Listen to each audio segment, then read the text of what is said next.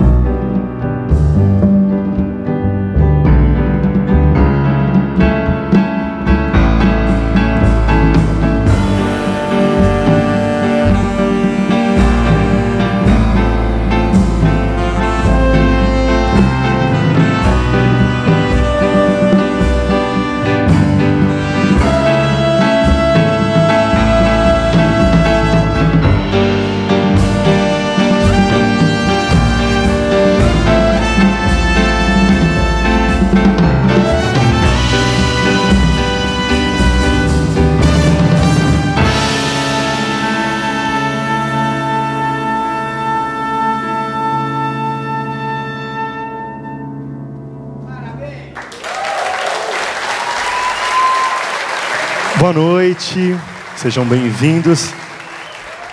É, é, muito bom estar aqui mais uma vez nessa edição do Sesc Instrumental, só que dessa vez com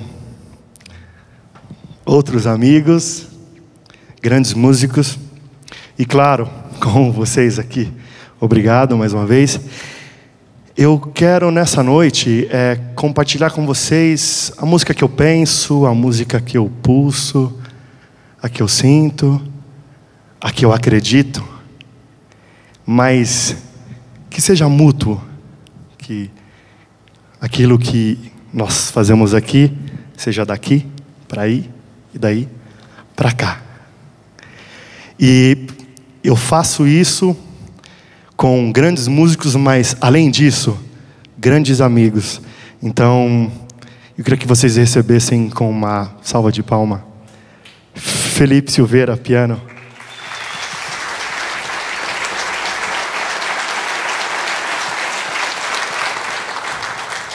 Vitor Cabral, bateria.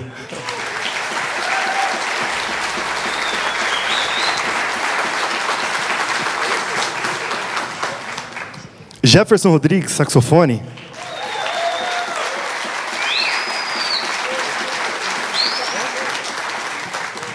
Sidmar Vieira, trompete.